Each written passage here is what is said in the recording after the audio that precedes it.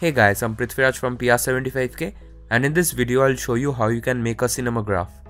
So what is a cinemagraph exactly? It's just the midpoint between a photograph and a video. Most of the parts of a cinemagraph is still, except a few things which would often be a moving object. So it creates this cool effect. If this video helps then please consider subscribing to my channel for more such videos like this and you can also follow me on Instagram if you want to get in touch with me. This noise so deafening. It's only one more day.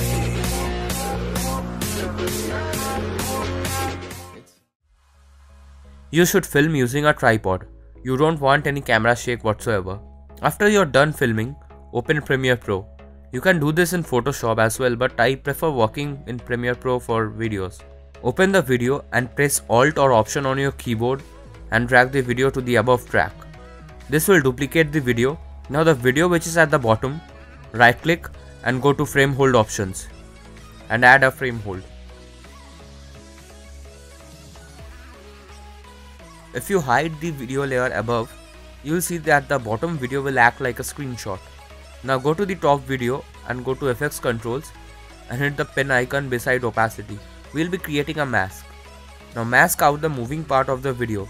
Left click to add mask points and you can adjust them if you make any mistake as well.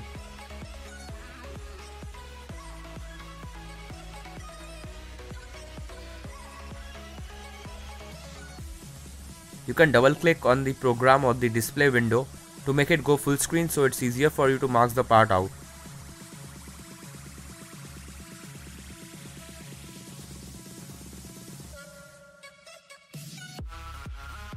Once that's done, you'll start getting the effect. Now you can just loop the video to make it continuous. So just duplicate the video and place it beside it.